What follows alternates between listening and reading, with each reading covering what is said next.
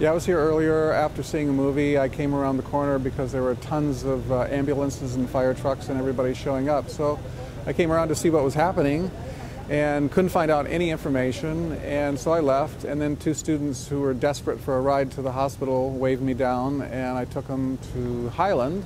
They were having a party of some kind, and um, suddenly it just went down, suddenly. And that was it. They were gone. The kids were totally distraught. They were comforting each other and crying and cell phoning like crazy, and the guys were comforting the girls, and the girls were crying, and some of them didn't even have their shoes on because they couldn't get back into the apartment building because they sealed it off.